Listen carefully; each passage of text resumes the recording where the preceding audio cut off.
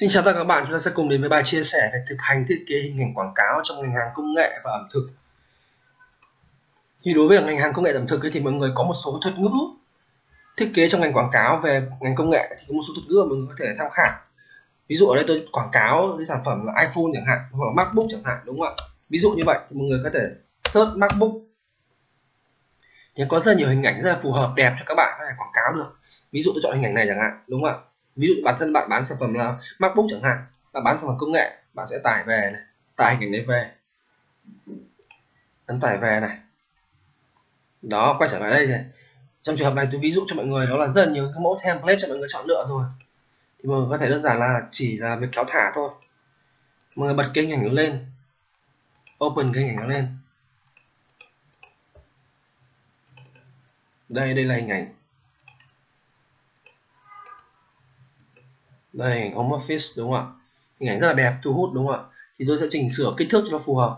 Kích thước mà tôi muốn chọn là tôi muốn để cái uh, chữ là 900 nhân cả 603 cái cách mà tôi thường hay sử dụng ấy đó là cách tôi sử dụng là ba một ảnh 900 603 và ba ảnh dưới là 900 900 mọi người nhá. Thì đấy là cách mà tôi hay sử dụng thôi thì mọi người có thể chọn lựa. Cách nào mà mọi người ưng ý nhất có thể.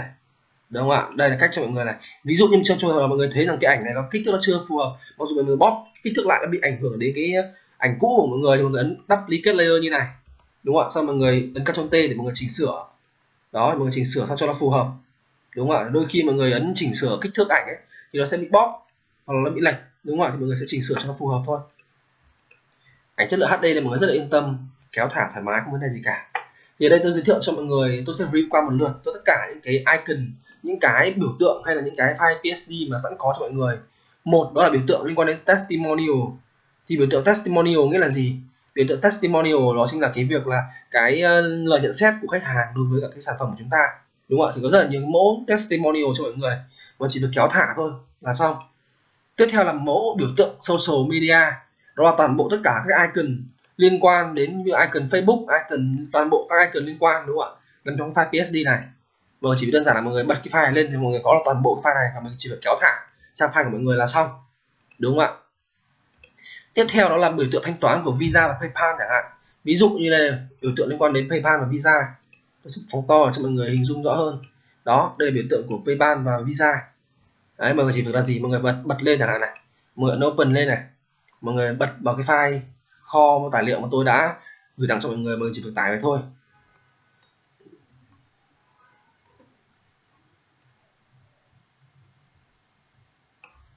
Đây, nó chính là biểu tượng visa, paypal chẳng hạn, đúng không ạ? Mình bật cái file 16 này lên. Thì ngay tức mọi người có toàn bộ tất cả. Đây, ví dụ như vậy. Bây giờ mọi người chọn một cái file nào mọi người ưng ý nhất. Ví dụ tôi muốn chọn cái cái biểu tượng ở dưới. Biểu tượng giữa chẳng hạn, đúng không ạ? Tôi muốn chỉ, tôi chỉ muốn cho một số cái thôi. Tôi tôi kéo thẳng ra đây, mọi người giữ này. Mọi người giữ Ctrl ấn hai, mọi người kéo thẳng xuống đây này. Đây. Mọi người thấy không ạ? Mọi người di chuyển sang một chữ một vị trí mọi người ưng ý nhất. Tiếp theo mọi người ấn Ctrl T để mọi người chỉnh kích thước kéo thẳng xuống chút như này. Tôi chỉ muốn cho kích thước nó vừa vừa thôi, ví dụ như vậy. Đó, công việc của mọi người chỉ đơn giản là gì? Mọi người chỉnh sửa, kích vào từng cái biểu tượng nhất định mà mọi người chỉnh sửa phông chữ thôi là xong, đúng không ạ? Tiếp theo đó là câu chuyện liên quan đến ờ, một số cái ờ, icon cho landing page. Đây là một số cái mẫu icon rất là phổ biến cho mọi người. Đây, mọi người nhìn này. Icon liên quan đến biểu đồ, subscribe hay là một số cái nút.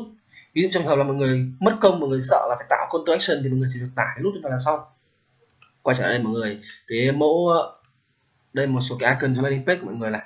Nó sẽ phóng to cho mọi người hình dung hơn. Ví dụ tôi muốn cho cái ờ, một số mẫu này vào đây. Tôi, tôi kích vào số 28 này. Ấn keep layer. Đây mọi người nhìn này. Ví dụ tôi muốn cho cái chữ buy now này đúng không ạ? Đây nút buy now này, này. Mọi người tìm đến nút buy now đây mọi người giữ control. Ấn. Mọi người kéo thả sang này. Là xong. Mọi người thấy không ạ? Đấy bây giờ mọi người chỉnh sửa. Đây tôi sẽ bị dính vào đây. Mọi người nhìn này. Tôi chỉ việc chỉnh sửa nút buy now này, tôi chỉ kéo trên cùng này cho nó tách biệt hẳn với cái group kia. Và chỉ chỉnh sửa là xong. Đây, nút buy now hoặc tôi để để luôn trên chính giữa như này, đúng không ạ? Còn đến chữ buy now là tôi sẽ có thể chỉnh sửa thành chữ mua hàng ngay chẳng hạn. Mua hàng ngay, ví dụ như vậy. Chấm than, đúng không ạ? Đây là mọi người chỉ việc chỉnh sửa chữ buy now này là xong. Chữ buy now này tại phông chữ tôi chưa có. Đúng cái phông chữ này thì mọi người chỉ việc sử dụng phông chữ khác cũng được. Không vấn đề gì. Ok, mọi người paste vào đây, mua hàng ngay.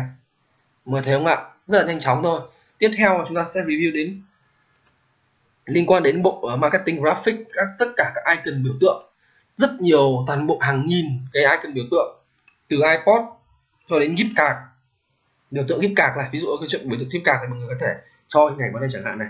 Trong trường hợp là mọi người quảng cáo sản phẩm mà liên quan đến ưu đãi hàng hóa ấy, mọi người muốn là đưa ra các cái ờ, quà tặng cho khách hàng để khách hàng họ quan tâm sản phẩm mình hơn đấy thì mọi người tải vào. Ví dụ tôi tải một hình ảnh là free gift chẳng hạn vào này mọi người thấy không ạ?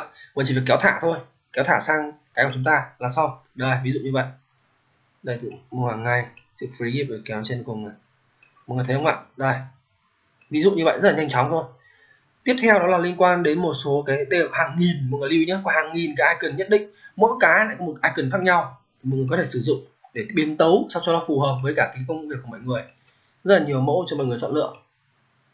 Tiếp theo là bộ sưu tập infographic thì đây là toàn bộ các infographic để mọi người thiết kế được trong quá trình mọi người sử dụng.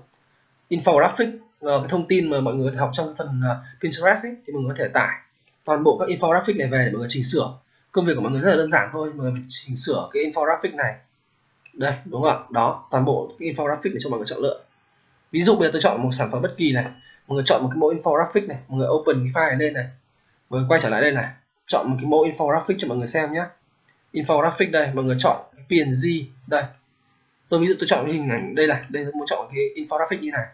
Thì đây là một cái file rất là tuyệt vời. Tổng số chi phí để mọi người phải bỏ ra để mọi người mua được cái bộ này thì lên đến vài chục đô. Nhưng mà hiện tại thì cái bộ chia sẻ này tôi muốn chia sẻ dành tặng riêng tất cả học viên của chúng ta.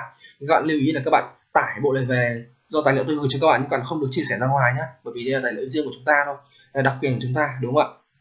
Có rất là nhiều cái element cho mọi người chọn lựa trong quá trình mọi người sử dụng công việc của mọi người từ cái bản đồ rồi biểu đồ như thế nào. Tất cả đều là đây hết, đúng không ạ? Mọi người chỉ việc bật lên và mọi người kéo thả sang là xong. Tiếp theo có một số cái mà mọi người có thể xem, đó là biểu tượng giảm giá này. Mọi người nhìn thấy rồi này. Tất cả những biểu tượng giảm giá mà mình cần này. Tiếp theo là content thông tin sản phẩm này. Mọi người nhìn này. Đây là toàn bộ các cái content dưới dạng là liệt kê đồ mục ấy. Coi là có rất nhiều giúp bản thân bạn có sản phẩm của bạn có nhiều đồ mục này, nhiều cái nội dung, cái nhiều cái ờ, đặc tính này, thì bạn sẽ sử dụng cái công cụ này. Đúng không ạ? Tiếp theo đó là câu chuyện mới quay trở lại đây này. Một người sử dụng cái ờ, card visit để chẳng hạn này. Mẫu card visit này. Đó, thì có rất nhiều mẫu card visit cho mọi người chọn lựa. Tương tự như vậy, đối với cả mẫu CTA call to action thì mọi người rất nhiều mẫu thì mọi người chỉ được copy, paste vào là xong, đúng không ạ? Một số cái mẫu icon số học. Một số cái mẫu icon số học biểu tượng ở đây này, mọi người chỉ được copy tải về. Thì trên đây là toàn bộ tất cả những cái, toàn bộ tất cả các thư mục với cái tổng dung lượng là tổng dung lượng là 1,1 GB toàn bộ cái dung lượng này file tài liệu này tôi sẽ upload lên trên hệ thống và các bạn chỉ được tải về thôi. Công việc các bạn rất là đơn giản chỉ việc copy và kéo thả vào là xong đúng không ạ? Với bất kỳ ngành hàng nào chứ đối không chỉ đối với ngành hàng là công nghệ nhưng đặc biệt đối với ngành công nghệ thì mọi người nên đặc biệt lưu ý mọi người một chút là với ngành hàng công nghệ thì mọi người lưu ý là lên có công nghệ thì nên có những cái cái giật tít. Hình ảnh là một này hình ảnh đẹp là một này thứ hai là cái giật tít CTA này call to action này, đúng không ạ? Thứ ba là mọi người thêm các cái thuộc tính thuộc tính liên quan đến sản phẩm. Liên quan đến sản phẩm, cung cấp thông tin cho khách hàng ấy. cung cấp thêm thông tin cho khách hàng, đúng không ạ? Tất cả những sản phẩm đặc biệt mọi người bán những sản phẩm, ví dụ như bán máy tính, điện thoại thì những cái thông tin sản phẩm là những cái đặc tính mà khách hàng rất là quan tâm. Thì những cái đó là cái mà người phải thêm vào. Ví dụ bản thân có thể là câu chuyện là gì? Có thể câu chuyện là mọi người có cái ờ, hình thức thanh toán visa đây này, cũng là một cái mà mọi người phải lưu ý trong quá trình mọi người mới áp dụng cho công việc của mọi người, trong cái việc mọi người set up cái quảng cáo, đúng không ạ? Toàn bộ cái file này tôi sẽ gửi tặng cho mọi người, thì mọi người yên tâm nhé. Mọi người sẽ có toàn bộ file này để mọi người áp dụng cho công việc kinh doanh của mọi người rất là nhanh chóng thôi. Và tôi vẫn lưu ý là cho mọi người là mọi người không được phép chia sẻ toàn bộ những cái này ra ngoài. Để là đặc quyền riêng của tất cả chúng ta, đúng không ạ? Học viên của, khóa học của tôi thì mới được sử dụng cái bộ tài liệu này thôi. Cảm ơn các bạn và rất là mong qua bài chia sẻ này thì các bạn đã có được cái cách cái nhìn sâu sắc hơn, cụ thể hơn và việc chúng ta thấy rằng công việc thiết kế hình ảnh quảng cáo không hề khó, đúng không ạ? Chúng ta thiết kế hình ảnh quảng cáo rất đẹp mà không hề khó khăn tí nào cả. Đã có toàn bộ những cái mẫu template sẵn có cho các bạn rồi. Công việc chỉ là kéo thả. Nên đôi khi công việc bây giờ còn lại cho các bạn mà tôi nghĩ là các bạn nên quan tâm đầu tiên không phải vấn đề thiết kế hình quảng cáo nữa mà là chụp ảnh thật đẹp. Đúng không ạ? Đặc biệt là liên quan đến sản phẩm của các bạn ngành hàng mỹ phẩm thời trang mẹ bé thì cái việc các bạn chụp ảnh thật đẹp vào là điều quan trọng nhất. Còn tất cả những vấn đề liên quan đến đồ họa như thế nào rồi chữ ra sao thì các bạn đã có khoa học này. Chia sẻ cho toàn bộ cái tài nguyên để các bạn có thể áp dụng một cách rất nhanh chóng thôi. Cảm ơn các bạn và hy vọng là toàn bộ cái bài chia sẻ của tôi liên quan đến vấn đề thiết kế trong các ngành hàng mẹ bé, mỹ phẩm thời trang cũng như hàng công nghệ thì đã cho các bạn một cái view rất là toàn cảnh và cách để các bạn có thể có được những hình quảng cáo phù hợp nhất, đẹp nhất với ngành hàng của các bạn thông qua cái bộ PSD mà tôi gửi tặng cho các bạn, miễn phí cho các bạn, được không ạ? Xin chào và hẹn gặp lại các bạn xin chào và hẹn gặp lại các bạn trong những lời chia sẻ lần sau. Cảm ơn tất cả các bạn.